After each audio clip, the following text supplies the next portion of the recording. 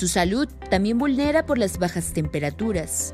Los casi 900 ejemplares que aquí habitan en Calimaya, Estado de México, reciben cuidados especiales con la llegada del invierno.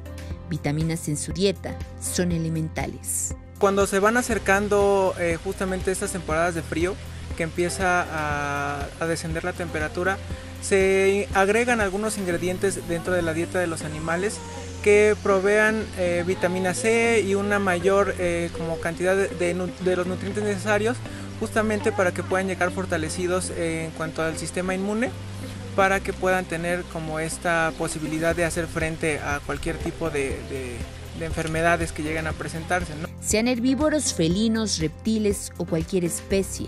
También reciben vacunas para prevenir alguna enfermedad respiratoria. Eh, atendemos eh, obviamente las enfermedades que pueden llegar a presentarse en los animales. Para nosotros es más importante prevenir que tratar. Aseguran dormitorios cálidos, pues este parque ecológico se ubica a escasos kilómetros del Nevado de Toluca, donde las temperaturas descienden hasta los menos 0 grados centígrados. Es por lo que incluyen un sistema de calefacción a estos y algunos otros adicionales. Todo el tiempo cuentan con, covachas disponibles para refugiarse en cualquier momento del frío y además dentro de estas covachas o dentro de estos refugios cuentan con focos de calor que también les ayudan eh, precisamente a, mitigar un poco el frío. Los animalitos pues tienen que salir más tarde, ya que haya calentado algo y, con un ambiente así pues no y también también tienden a enfermarse.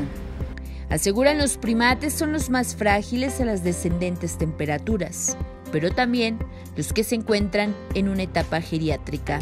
En el caso de los primates, por ejemplo, que son eh, animales principalmente de clima tropical, las instalaciones cuentan eh, con eh, humificador y cuentan con obviamente un este, mini split que permite mantener un microclima adecuado dentro de las instalaciones. Con los cuidados que aquí se implementan, hay mayor probabilidad de que la tasa de mortalidad de los casi 900 animales de 136 especies disminuya. Con imágenes de Daniel Hernández, Aleli Rodríguez, Antena 125.